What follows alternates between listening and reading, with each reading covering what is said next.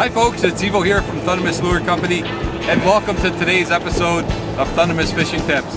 You know, we're out here in Queenston, Ontario, just the other side of Lewiston, New York. And uh, I don't know what to expect today, but I gotta tell you folks, I really don't care because it's January 12th and it's a record 12 degrees already out here today. And the river here is just loaded with bait fish and it's just a great day to be out on the water. I think I've seen more boats at the boat ramp today than I have all summer long and we're almost in the middle of January so this is an absolute bonus for me. I just love it being out here. So we're gonna head out. I'm with Antonio today. Like I say, there's all kinds of bait in the river. The birds are diving.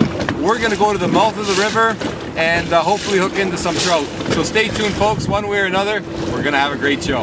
What a nice hit. He just picked up that lure real nicely. Wow, that was fantastic. Now, I got my little bass net with me. Let me grab it here. He come out like a torpedo, folks. And he, he's one great big football. Oh, wow. One big football right there. Oh, lighten up my drag here as I get closer to the boat. this is, oh, this is great. Middle of January, unbelievable. Just being out here. Oh, here he is here. He's coming up. There he is there. Oh, what a nice fish. Oh, there he goes back down again.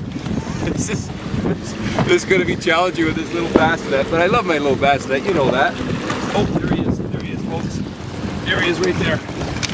Get him in the boat. Oh, yes. I love it. Look at that fish. My goodness. Oh my, beautiful, beautiful fish. Oh, look at that. Oh. That's what coming out here in January is all about.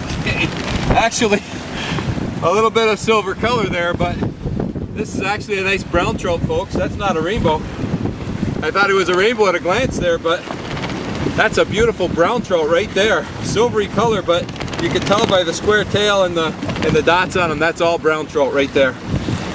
Wow. Show you what I'm fishing here, folks.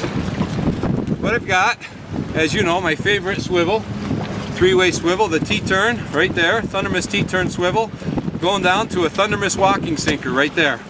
And the reason for the walking sinker is this is just going to walk over top of the rocks and over top of the structure and it keeps me tangle free, which is excellent out here because there's a lot of rocks and structure out here on the bottom.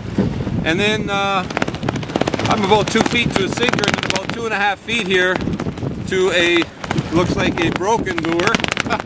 I had a minnow imitating lure there, gold color, which looks like it broke on me, so I have to replace that. And I'm running gold because the water here is a little bit murky.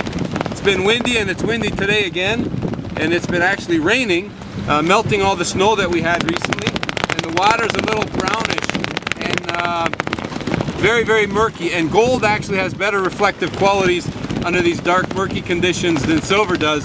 So I'm going to see if I can hook up with another uh, gold uh, minnow imitating lure. And basically all I'm doing is dropping that right down to the bottom. And the key here is, and people ask me all the time, how heavy of a sinker should I use? Well, it all depends on how deep you're fishing and how fast you're moving. And out here, we've got the river taking us out, we got these strong southwesterly winds moving us, so we're moving pretty quickly. But because we're fishing shallow, 18 to 20 feet of water, um, I can get away with two ounces here, but three ounces would probably be a little bit better if we went a little deeper. But two seems to be uh, seems to be doing it right now. So if the winds pick up a little more, I'll bump up to three, and if we go deeper, I'll bump up maybe even to uh, to four or to six. But uh, for right now, two ounces doing it. I got to actually get that lure changed up, but that's all we're doing. Drop the line down, feel that sinker. As long as that sinker is maintaining bottom contact as you're drifting, that's the key. And if you lose bottom contact, you don't feel it anymore, just let out a little more line and let that sinker get back down there again. And then that walking sinker will just walk along the bottom. You can, you can just feel it walking along the bottom there as your lure's working. It's a great system. I love it. Back in I go. I got to get re-rigged though. Well, you know what folks, the winds have really picked up They gotta be 30, 35 kilometers at least out of the south southwest right now. You know what, catching that one fish was a pure bonus for me. I just loved it being out here in the middle of January on my boat. And the beauty is, the weather's gonna turn back to normal in a couple days and we'll be out ice fishing probably in about two to three weeks. Okay, maybe four weeks.